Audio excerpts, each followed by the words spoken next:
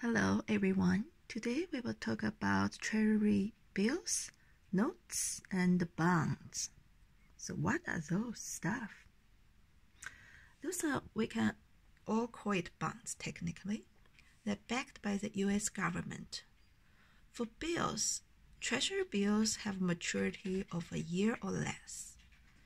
And it's sold as a discounted from their face value and when it matures, you get the full amount. For notes, the maturity is 2 to 10 years, and it's so that their face value have a fixed interest rate and will get paid every six months. For the bond, the maturity is longer, 10 to 30 years from the issue date.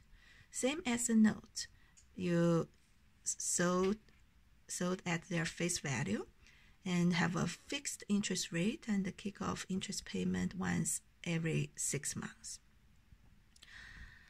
This is a way of the U.S. government get money, borrow money, and uh, for government it's a treasury debt.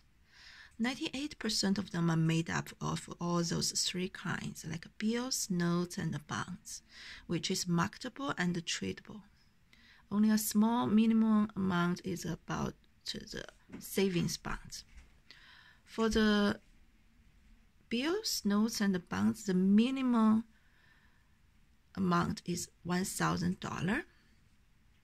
Another form they are using is a savings bonds.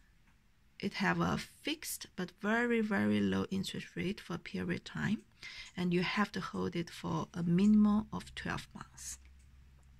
So this is overview of all the treasury bills, notes, and bonds for the US government. High level, the maturity date is different. Bills, short term, less than a year. Notes, 2 to 10 years. Bonds, 10 to 30 years. And the value they sold is a little bit different. And how you get the interest, the appreciation is also different. Hope you like it. Bye for now.